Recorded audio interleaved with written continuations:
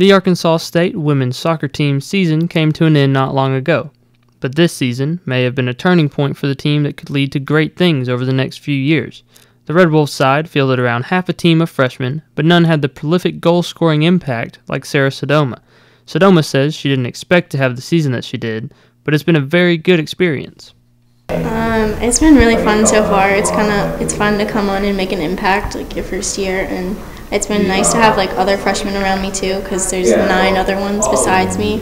So it, that made the transition a lot easier, I think, and it makes like everybody mesh a little bit better because it makes it easier for us to fit in. Sodoma is one of nine other freshman players on the team, six of which were starters. However, she credits their success to their older teammates all the older girls have been really like supportive and everything. And really like they they're good leaders so it's easy to get right into it and like work your hardest every day. Like, it's like one big family kind of you you know the thing.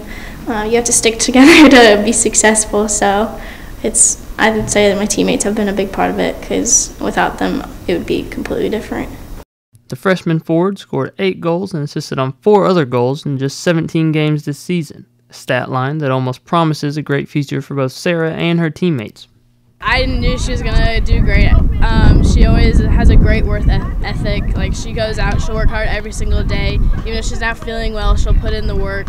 Um, I mean, you give her a ball, she'll go. She'll she'll go to the goal. She'll do everything she can to score for our team. Like she'll do everything for the team. It's kind of nerve wracking because like we're all kind of new to like the program, I guess. Like we all like know how to play, but it's like getting to know how to play with each other. But I mean, I think we've been really successful and we've put it together to come out with some really good results. So it's safe to say that the future is bright for the Red Wolf soccer team. They'll have a lot to build on for years to come. For Red Wolf Roundtable, I'm Morgan Jackson.